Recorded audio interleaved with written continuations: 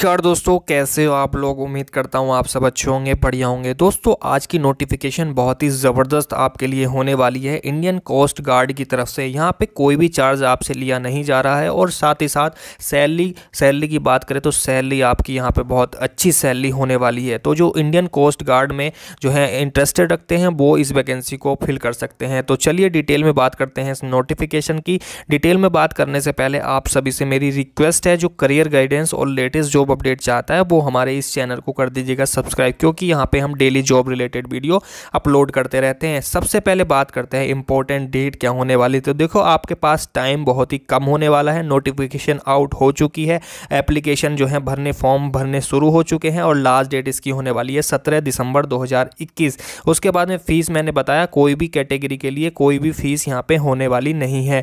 उसके बाद में बात करें टोटल नंबर ऑफ़ वैकेंसी की। तो देखो टोटल पचास पोस्ट होने वाली है। जनरल ड्यूटी कमर्शियल पायलट और टेक्निकल की कुछ ब्रांच में यहाँ पे जो है वैकेंसी होने वाली है। तो एलिजिबिलिटी क्राइटेरिया भी आपकी डिस्प्ले पे शो हो रहा होगा। जनरल ड्यूटी के लिए बैचलर डिग्री होनी चाहिए सिक्सटी परसेंट मार्क्स के साथ और साथ ही साथ टेंथ और मतलब ट्वेल्थ में आपके पास मैथ या फिजिक्स होना चाहिए। उसके बाद में कमर्शियल पायलट के लिए इन्होंने जो है ट्वेल्थ मांगा है सिक्सटी परसेंट मार्क्स के साथ साथ। उसके लिए, उसके बाद टेक्निकल जो है इंजीनियरिंग या इलेक्ट्रिकल की बात करें, उसके लिए आपके पास डिग्री या डिप्लोमा होना चाहिए रिलेटेड ट्रेड उसके बाद में बात करें, देखो ये जो है कमर्शियल पायलट इसमें मेल और फीमेल दोनों अप्लाई कर सकते हैं, लेकिन जो है जनरल ड्यूटी और जो है टेक्निकल में केवल मेल वाले जो है मेल कैटेगरी के अप्लाई मेल कैटेगरी मेल ही अप्लाई कर सकते हैं। उसके बाद में कैटेगरी वाइज वैकेंसी की बात करें तो आपकी डिस्प्ले पर शो हो रहा होगा। जीडी और कमर्शियल पायलट या टेक्निकल इंजीनियरिंग या टेक्निकल इलेक्ट्रिकल इसके लिए कौन सी कैटेगरी के लिए कितनी वैकेंसी होने वाली है, आपके डिस्प्ले पर शो हो रहा होगा। उसके बाद में पे स्केल की बात करें तो आपके डिस्प्ले पर शो हो रहा होगा। मिनिमम जो है चौवन हज़ार के समथिंग आपका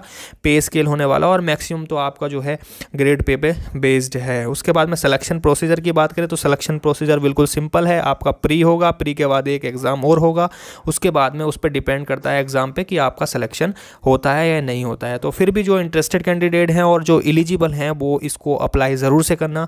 तब तक के लिए मिलते हैं अपनी नेक्स्ट वीडियो में। Thank you guys watching this video like share and subscribe my YouTube channel for the notification of latest government and private job vacancy